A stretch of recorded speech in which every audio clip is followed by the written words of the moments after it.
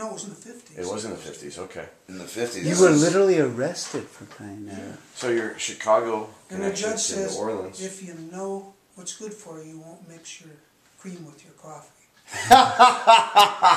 No, he did not say that. Who said that? What a Judge. Judge. Oh, what a And he said, I bastard. ain't never seen no northerner yet who didn't have baggy pants. Well, I'm I'm, I'm guilty of mixing my cream with. He's married to a black woman. my wife. Uh, I would show you a picture, but my phone's dead. I can't. This is one of the prettiest tunes I know. You may not know. It's called Do You Know What It Means to Miss New Orleans? Do you know that? I've heard this. I've heard of this.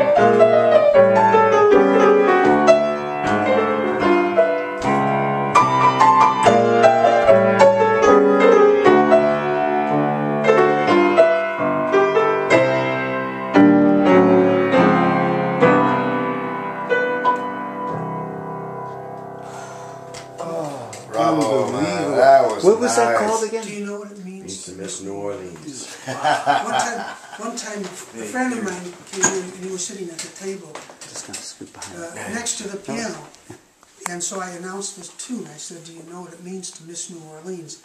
And, and he thought it was I was asking a question. And he says, "What? What?" And I said, "That's the name of the tune, you dumb motherfucker."